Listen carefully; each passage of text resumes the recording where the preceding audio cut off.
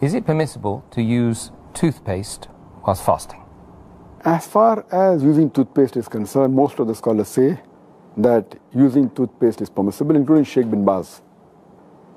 May Allah have mercy on him. He says that using toothpaste along with toothbrush is like using siwak. There are many people who think that using siwak while you're fasting is discouraged.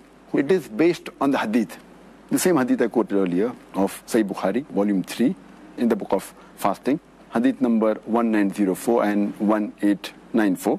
Prophet Muhammad said that by Allah, in whose hand is my soul, the breath of a person who fasts is sweeter to Allah subhanahu wa ta'ala than the scent of musk.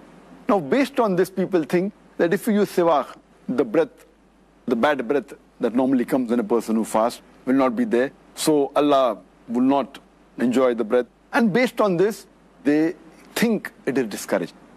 In fact, we should realize that when a person is using the siwak, toothstick, it does not stop the bad breath which normally comes when a person fasts.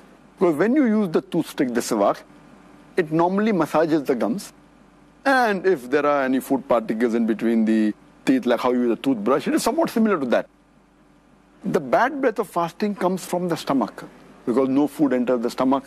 And that's how it comes. So no way does it contradict that.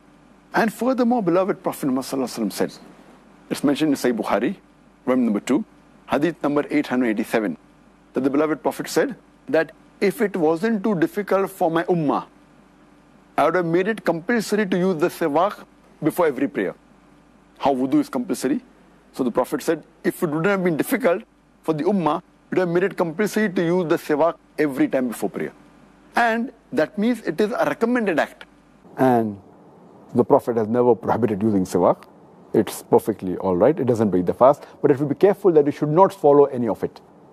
So swallowing any part of the toothpaste is forbidden. That's the reason some scholars say it's makruh thinking, oh, if someone has toothpaste that has a strong taste and someone will swallow. So that's the reason some say it's discouraged. But the right ruling is that as long as you're careful, that you don't swallow any part of it, you can use a toothpaste and a toothbrush.